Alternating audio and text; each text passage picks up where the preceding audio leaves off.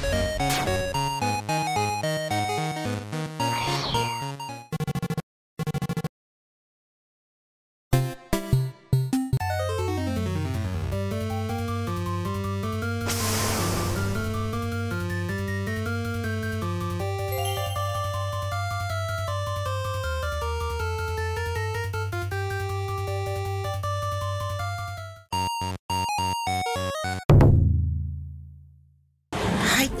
今回はまたまた新宿に来ております。で、えっと、今回はね、ちょっと今撮影するお店通り過ぎたんやけど、のペッパーランチさんにお邪魔しようと思ってます。わー、かけた。ペッパーランチさんはめちゃくちゃ有名だと思うけど、あの、ビーフペッパーライスっていうこれとか、あとステーキとかハンバーグとかもあるから、そういうのいろいろいただいていきたいなと思ってます。やばい、ハゲる。私さ、なんやかんやさ、ペッパーランチさんさ、初めてなんよ。お家で食べるようなさ、ホットプレートとかで作ったりするもさ、食べたことなくてさ、え、めっちゃ楽しみなんよね、今日。ちょっといろいろお肉いっぱいいただいていきたいなと思います。楽しみ。ペッパーランチさんめちゃくちゃなんか神対応すぎて、本社の方とかも来てくれはってて、超申し訳ないんで、まあ、いい動画が作れるように頑張りたいと思います。頑張ろう。楽しみ。松田さんです。おい。しい。バーガーです。バーガーでござい。ます。すごい。ありがとうござい。ます。美味しそう。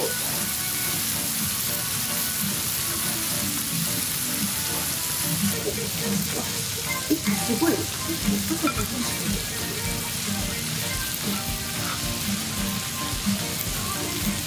すごい。ね。ここで混ぜるからさ、肉汁とかもさ、余すことなくご飯と絡められるの。めちゃくちゃ美味しそうじゃない。いただきます。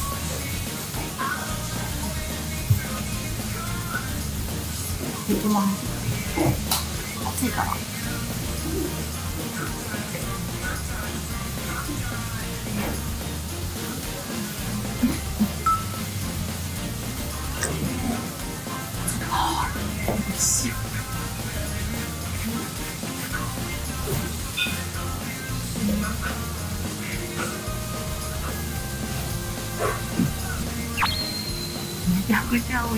胡椒がすごい効いてる感じがする。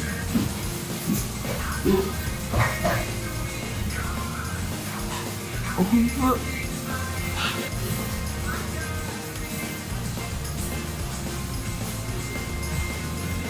チャーハンみたいにすごいパラパラしてるのにそんななんか油っぽいとかは全然感じないな。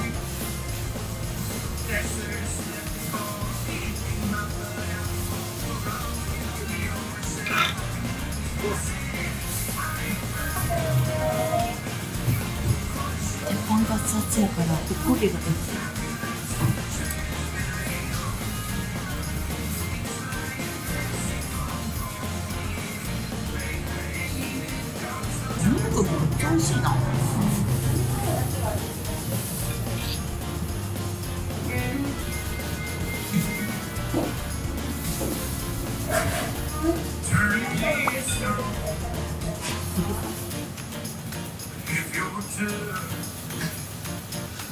ニンニクとかタレとかもあるん。だよね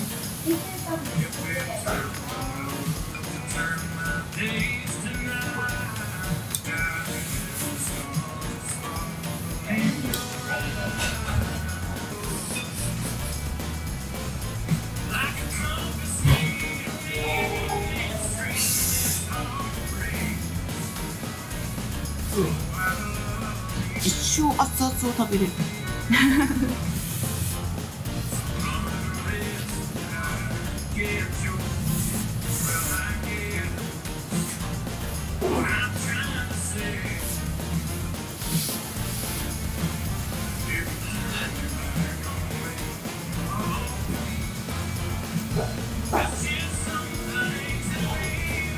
メージあれだよねステーキした後にさ肉汁でさガーリックライス作ったりするじゃん。あれをこれ最初からガーリックライスともに食べれてるイメージ。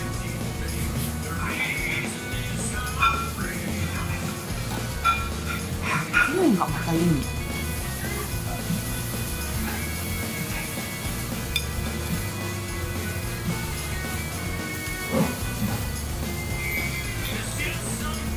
おいしい。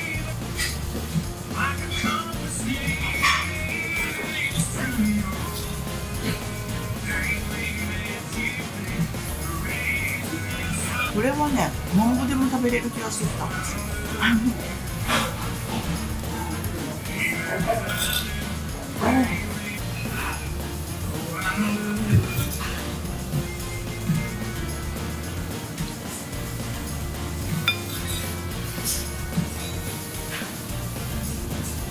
すごくシンプルなんだけどしっかり味付けされてるからなんやったらこれでご飯食べるそう。これでご飯食べるそう。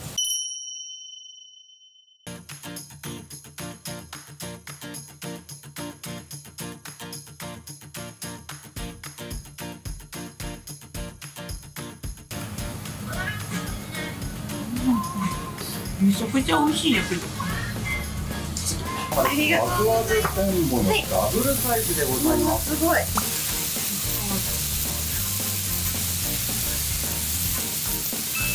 っちゃ美味しそう。あとお米も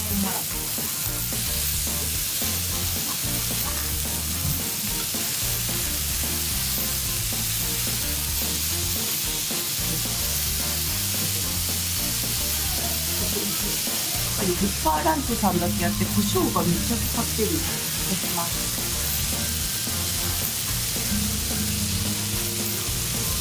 おすごい肉汁がやばいこれ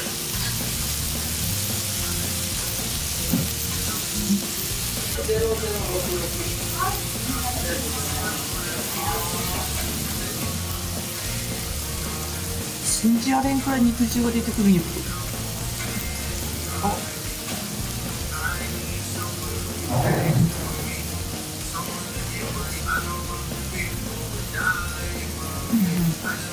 ごいふわっとしてるんだけどしっかり下はさ焼き目がつくからさちょっとカリッとした部分も楽しめてる。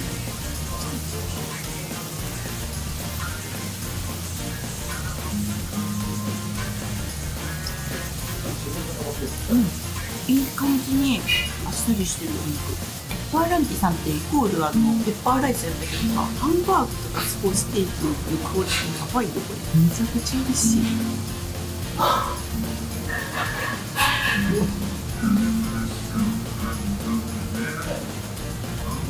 うわご飯が進む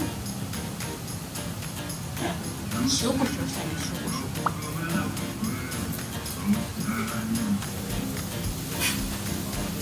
も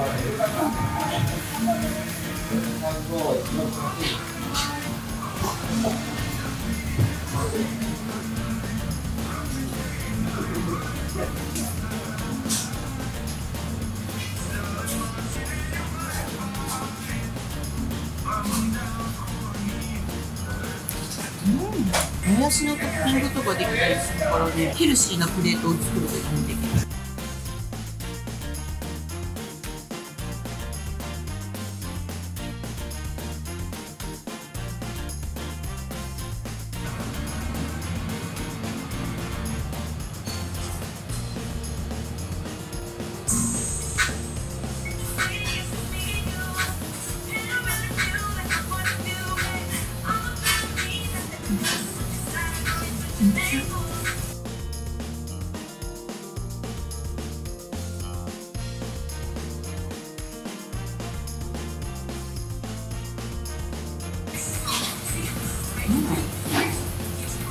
る食べてほしい。これほんまに美味しい。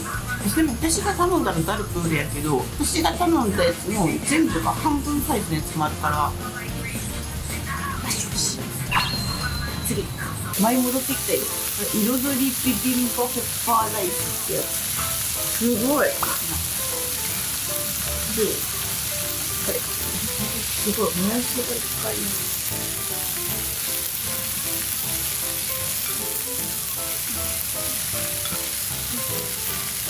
めっちゃいい香りするコチュジャン的なさ辛味噌っぽい感じの香りナムルとかいっぱい乗ってるしこれは美味しいでしょ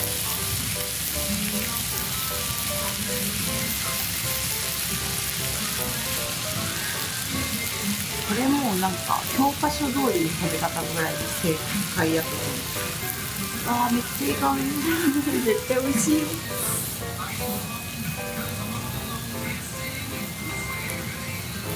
おいしい。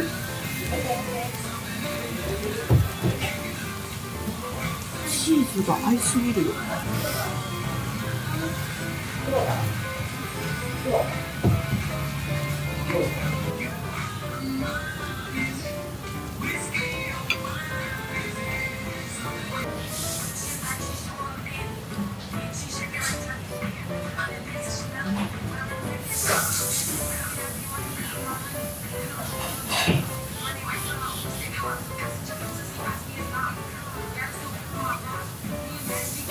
正解すぎる食べ方をしてしまったのかもしれないな。ニンニクビビンバのタレとかもかかってるから揚げ付けはものすごくしっかりしてるからタレとかは絶対かけなくていい。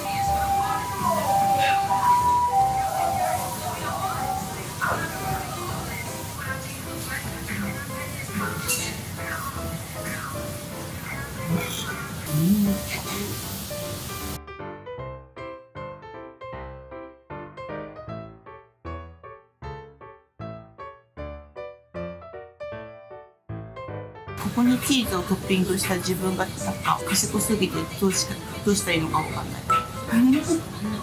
本当に。合う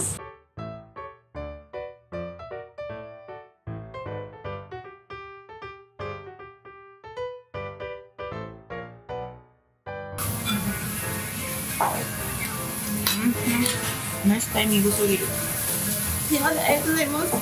ありがとうございます。様です。ワイルドステーキ180円。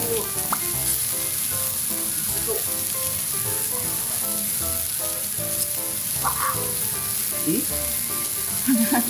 そんなことある？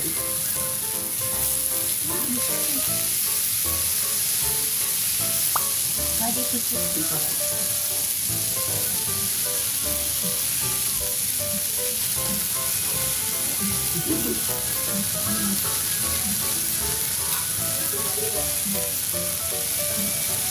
めちゃくちゃ柔らかいうんナイフがいたうん。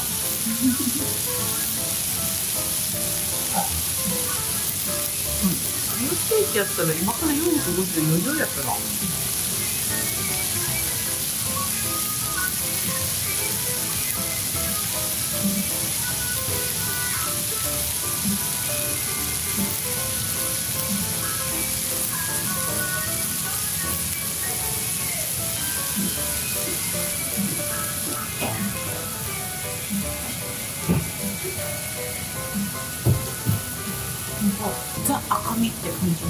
とほんのりこう油が乗ってこれはすごく美味しいです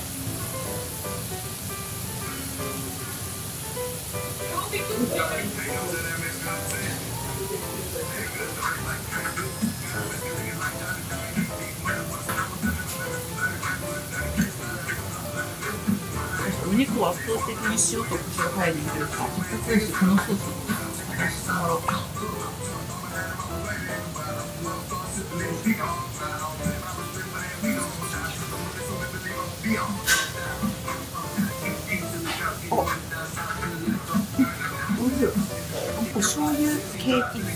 ったら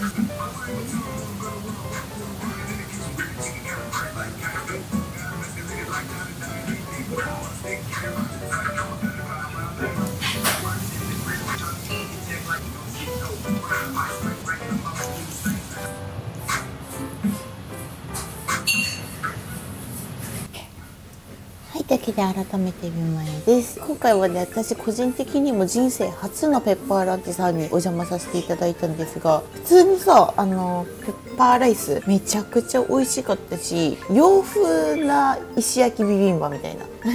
そんな感じで美味しかったし、私さ、多分動画内でいい意味でつなぎ感のあるハンバーグみたいなこと話しとってんけど、これさ、メニュー名さ、ビーフ100%って書いてるんよ。これつなぎ使ってないもしかして。すごくない？つなぎ使ってないのにつなぎ使ってるかのようなふわふわ感があるハンバーグって。これめちゃくちゃ美味しかったのでよかったら皆さんも是非食べてみてください。だけで今回もコメント返ししていきたいなと思うんですがこちらですね。私の危機的きうん私の利き手がどっちなのか問題ですね。これは動画とかでもちょいちょいお話ししてるんですが改めてご説明すると生まれは左利きでした。なんかその赤ちゃんの頃生まれて持ったものっていうかは左利きや左やったんですけど鉛筆とお箸は右で使えるようにしてくれたんですよ。それ以外は基本左ですね。スポーツとかも全部左やしうん右でやれって言われたら多分右でできるし左でやれって言われたら左でできるしっていうこの世の中右で使うものが多いんでなんとなくどんどんこう順応していったというか、まあ、そんな感じで。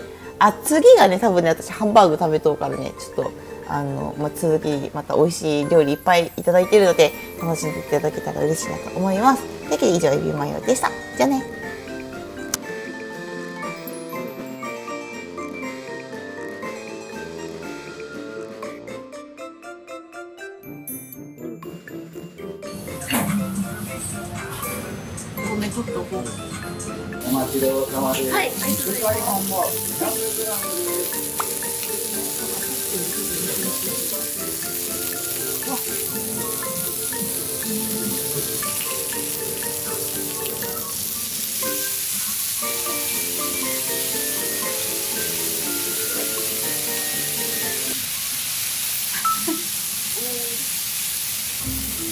レンズが油ですってどういうことなってるじゃんか帰ったら綺麗に仕上げなんねあなたすごいわね。さっきの販売分余裕で分厚いわ。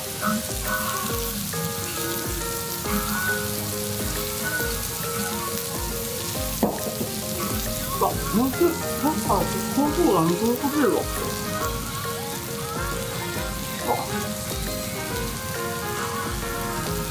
の分量はすごいわ。よし。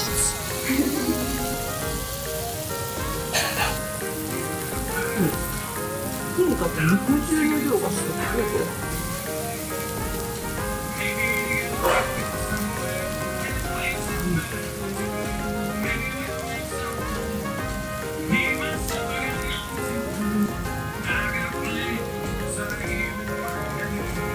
は奥深いな。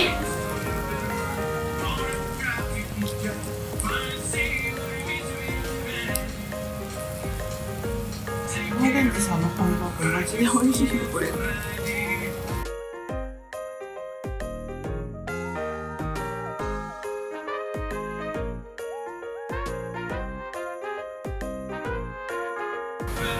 見てめちゃくちゃいい焼きコーンになってる。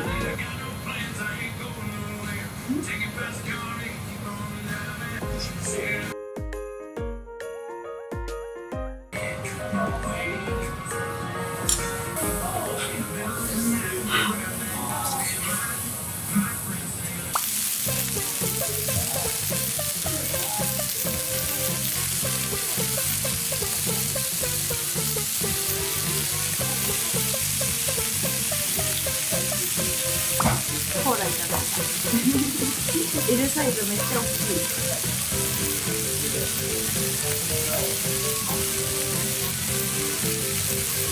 うさっきのワイルドジュースステーキと比べるとどっちかってとこってり寄りのお肉なん。だけどうんすごっ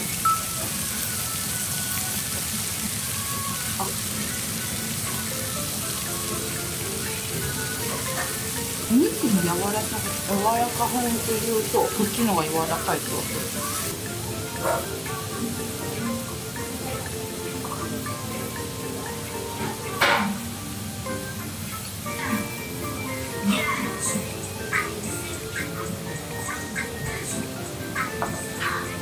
お肉食べながらコーラ飲むってめっちゃ幸せなことない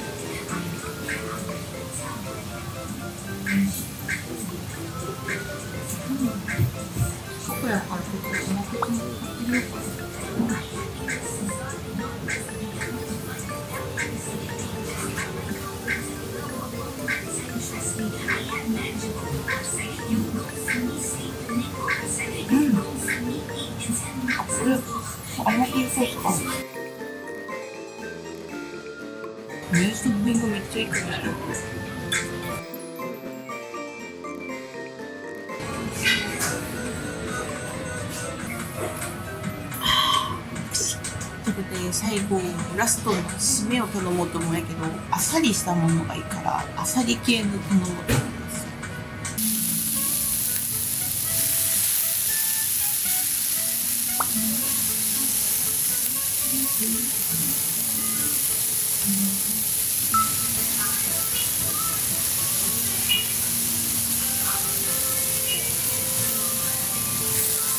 熱いの苦手な人この食べ方もいいかもし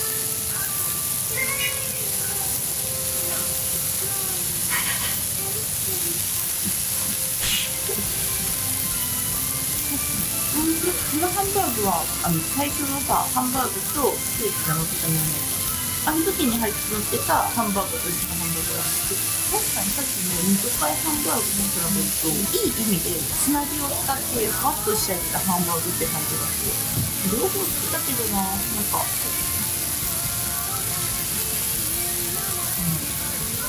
こってりしたハンバーグを求めてる方はこっちがおすすめか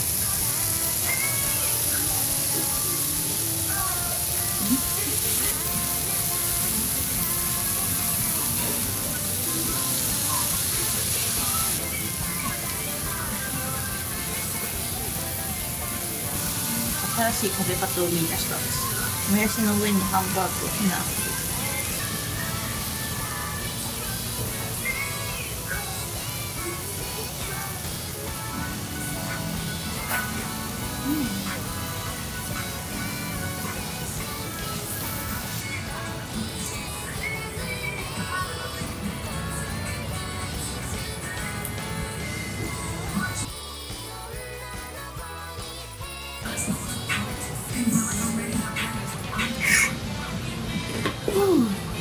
するお腹いっぱいやっぱりさ多分みんなもさペッパーランチさんイコールペッパーライスってイメージだと思うけどステーキとかハンバーグメニューとかもめちゃくちゃ種類いっぱいあるしぜひねなんかお肉食べたいなってなった時に一回ぜひペッパーランチ遊びに行ってみてください。めっちゃ美味しかったです。